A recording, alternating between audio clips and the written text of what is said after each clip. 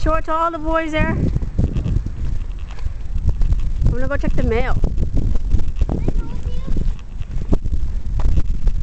Sure.